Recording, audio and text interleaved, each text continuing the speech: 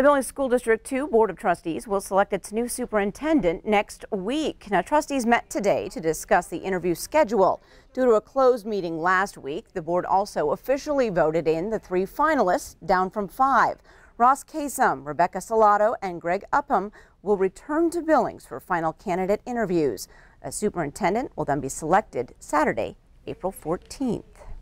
The Skyview Falcons will soon be partially solar powered the solar panels to be installed over the summer. Now, the school, the largest energy user in School District 2, now has some financial help to install that solar energy system. A $50,000 grant from Northwestern Energy will bring down the cost of the nearly $140,000 project. The system is estimated to take at least 11 years before a return of investment, but that could happen sooner depending on the solar energy market. In a 30-year timeline, the savings are estimated to reach $327,000.